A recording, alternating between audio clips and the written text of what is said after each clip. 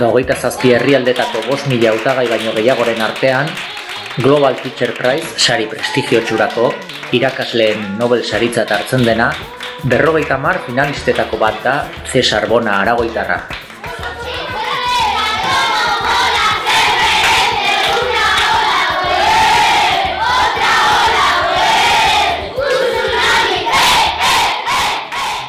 El maestro te, te decía, bueno, vamos a... ¿Esto quién lo sabe? Yo lo sabía, pero era tímido hasta tal, punto que no me atrevía ni siquiera a levantar la mano. Así que le decía al compañero, esta es la respuesta. Y él levantaba la mano. Entonces, eso, por ejemplo, yo no quiero que suceda a los niños de ahora. Esa barrera que pone la vergüenza a la hora de expresar emociones o sentimientos o pensamientos o, los argumentos, eh, que, eso, saltar esa barrera para que ellos sean capaces de expresar todo eso que a lo mejor yo de pequeño no, no, no podía. Poniéndome en el lugar de cada uno de los, de los niños, eh, cuando tú eras niño, pues seguro que te pasaba también, a uno le, le gusta sentirse importante o, se- sentirse valorado, digamos que es el, el primer paso. ¿no? Yo les digo, soy maestro, pero yo no sé todo. Vosotros me podéis enseñar. Así, pues cada uno de ellos puede proponer cosas o, o puede decir, pues esto yo he descubierto, esto me gustaría compartirlo, pues eh, lo compartes. En ese sentido, para mí la programación tendría que ser un, un hecho abierto. Javi, por ejemplo, un, chico de etnia gitana, es con el que yo empecé hace seis años en una escuela, pues, yo le decía, "¿No? ¿qué me puedes enseñar? ¿Me puedes enseñar a tocar el cajón? Él estaba encantadísimo de, quedar una hora antes para enseñarme a tocar el cajón. Él ya se sentía más a gusto. Ya daba y estaba, preparado para recibir. Una niña me dijo, "Oye, ¿por qué siempre hace más frío en los polos? Digo, investiga, investiga, ¿sabes? Y llegaron a la conclusión, después de investigar todo, que en el polo sur decían que hacía más frío que en el polo norte. Eso lo aprendí de ellos. Mira, una cosa importante que además aquí repartimos roles ¿no? en clase. Uno de esos roles que para mí es quizá el más importante es el, le, puse de nombre el cabecilla de los sublevados. Ese niño lo que hace es canalizar cualquier tipo de queja o de sugerencia o de deseo de participar de los demás. Yo soy, por ejemplo, Alejandro y pongo en un papel sin mi nombre, pongo en el recreo me ha sucedido esto. O soy María y digo, "Eh, una compañera me ha dicho esto o aquello y me gustaría, o no me gusta cómo das esta clase.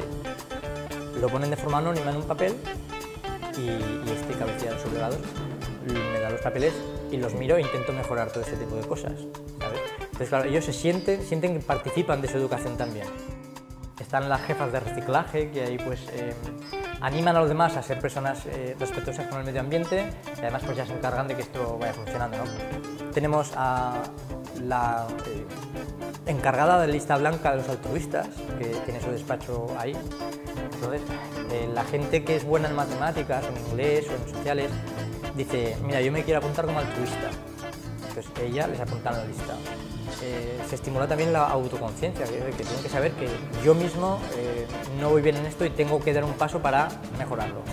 Habla directamente con la encargada de la lista, buscan un altruista y ya cuando llega a clase de inglés o de mates se sientan juntos o en el recreo se ayudan, este tipo de cosas, ¿no? Y, y eso les hace crecer tanto al altruista como al otro, se estimula el compañerismo. Eh, luego está el encargado de la lista negra de los, que de los que hablaron demasiado, es como un título de película. Para estimular el respeto a las personas que están hablando. Así que eh, si cual- tanto, porque yo me coloco a su mismo nivel, es decir, tú tienes que respetar al maestro, pero también a un compañero que habla. Están eh, la comisión periodística, que tiene su, su espacio allá, entonces cada lunes pues van animando a la gente a que traiga noticias curiosas y luego las comentamos aquí también, para que estén puestos al día. Están los bibliotecarios, eh, bueno, cada uno tiene su, su función. Supone que es importante que te coloques, eh, que, primero que tú tengas una función en la sociedad, ¿no? Luego que lo que tú haces ahora mismo lo hará otro dentro de un mes y lo que está haciendo uno ahora lo puedes hacer tú. Entonces el- la empatía es una cuestión importante también, ¿no? El saber que, que el respetar también lo que hacen otros, precisamente. Los miércoles tenemos historias surrealistas. Entonces yo les pongo un título quijotesco, pues, por ejemplo, eh, la extraordinaria historia de- del gañán, eh, Mr. Puyuelo de los rancios andares, que, que tenía la curiosa capacidad de doblar las rodillas al revés y que se escondía cactus entre los dedos de los pies. ¿no? Entonces, una historia con un título raruno. les pongo 8 o 9 palabras, cogidas del diccionario aquí directamente. ¿eh? Nos lo inventamos sobre la marcha. Y así después ellos tienen que buscar palabras y construir, crear una, una historia que es graciosa para, para ellos. Entonces ya empiezan como con ganas de que eso llegue, ¿sabes? No es llegar y decir, tenemos que hacer este ejercicio del libro que me aburre, voy a crear yo, voy a ver cuánto consigo que la gente se lo pase bien. El estimular su curiosidad, da igual también la materia que estés dando, eso es, una herramienta para la vida. El, sobre todo el animarles a hablar en público, el hablar en público les puede servir para toda la vida. El romper esa barrera que hablábamos de la vergüenza, también. Una de las historias más bonitas que ha sucedido hoy es que Mohamed, que simplemente es, es así como muy, muy tímido, hoy hemos llegado a las 9 de la mañana y he dicho, quiero hablar yo. Y se ha subido a la silla y a la mesa y ha hablado delante de todos. Le dado un aplauso, porque todo el mundo sabe de la dificultad que supone cuando uno es más tímido. Y ver que además que, que lo que hablas pues que es interesante para todos y que lo reconocen. Ha habido en, muchos sitios donde decían, sí, y la gramática, y la ortografía, y, tenemos nuestras dudas, porque no llevan a lo mejor el libro, digo, pues no os preocupéis, paciencia, que vuestros hijos están aprendiendo cosas que no aprenderían a lo mejor de otra manera. Yo digo que un maestro puede saber muchísimas cosas, pero que a lo mejor tenga cierta falta de actitud. Yo digo, ¿cómo vas a animar a los niños a ser personas curiosas si uno no es curioso? ¿Cómo vas a estimular la creatividad si, a lo mejor tú no eres una persona que te gusta crear o, investigar a ver esto cómo funciona, ¿sabes? Pero digamos que la, la actitud es algo muy importante. ¿Por qué digo que la empatía y la sensibilidad son tan importantes?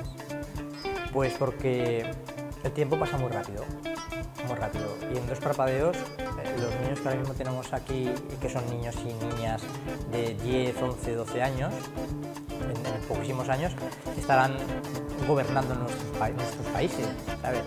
Y en pocos años serán, estos niños serán el marido que sepa respetar a su mujer, o la mujer que sepa respetar a su marido, o alguien que sepa eh, tener ese respeto hacia los animales o hacia el medio ambiente. Los niños no son solo los adultos del futuro, habitantes del presente. Y por eso hay que empezar a invitarles a participar en la sociedad, que ellos se sientan implicados en el cambio que hace falta. Creo que es fundamental.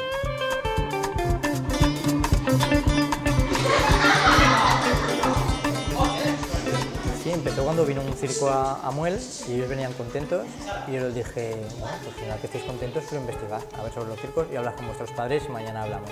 Entonces ya cuando vinieron ya vieron que esa vida era un poco distinta a lo que se asocia siempre circo y felicidad. ¿no? Y ese día digamos que nació el cuarto ciclo, que era como una protectora virtual de animales dirigida por niños. Dijeron, ¿qué podemos hacer para cambiar esto? Digo, pues empezad por vuestro pueblo. Escribieron una carta al alcalde eh, entre todos la fusionamos y lo que ellos habían descubierto eh, se llevó, ellos lo iban explicando a todos los niños del cole, desde infantil hasta sexto, y todos los niños firmaban una carta, esa carta. Se pidió audiencia con el alcalde y desde entonces pues Muel es un, un pueblo libre de circos con animales.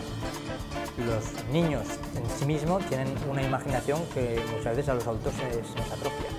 Entonces pueden tener ideas absolutamente maravillosas que pueden ser tenidas en cuenta.